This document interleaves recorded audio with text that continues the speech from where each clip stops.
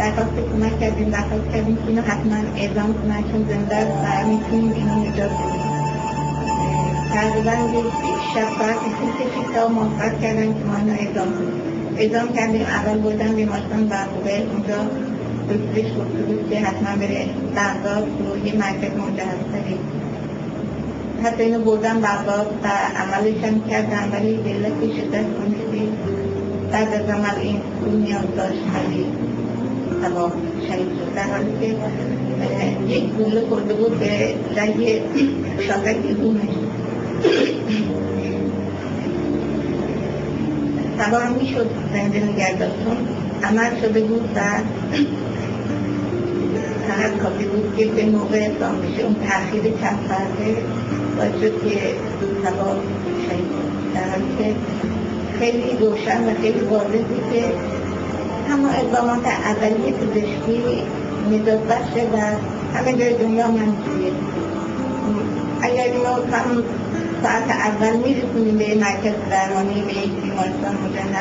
شاید سبا اصلا شهید نمی‌شد. یا حتی مثل دفعه قبل اگه ما خودمون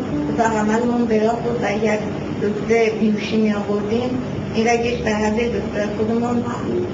می‌تونستیم کارش انجام بدیم و نجاتش بدیم. و یا مدیونین اعلام زنجانی که آوردن واقعا صحنه دقت تکان دهنده بود که هیچ کس نمی‌تونست نگاه کنه این نارنجه که انداخته بودن این در حال که نشسته بود دو زمین نارنجه که انداخته بودن بغلش و منفجر شده بود هر دو تا ساعت و هر دو تا زونش به شدت متلاشی شده بود تمام عروض ساندون ها و اعصاب دستش بیرون بود ولی واقعا صحنه من اون لحظه نمی‌تونستم چی فکر کنم این اصلا صداش در نمیمد چطور این بود خوبم واقعا این مقاومت و پایداری این لبخند رد داشت و خیلی اصلا صحنه من میخکوب شدم. وقتی دیدم این با لبخند سلام کرد. و دوشو با ملاکو پشونده بودن اول نفهمیدم چه اتفاق افتاد ولی فقط دستش بود ملاکه که کنار زدن واقعا یه لحظه احساس کردم که کاملا به هم خورد.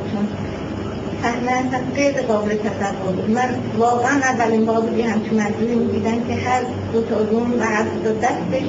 هم سوختگی داشت هم عضلاتش بافت نرمش اصلا پاشیده بود. ولی با این حال تا اینو برسیم به یکی بیمارستان ساعتها کشه تا موفق کنن که ما اینو اعلام کنیم به یک بیمارستان مجهز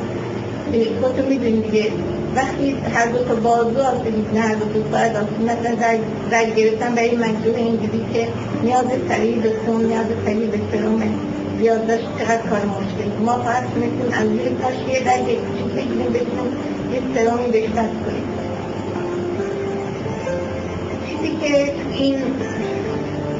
صحنه برای من تکان دهنده بود روی مقاومت و وای مجبوری بود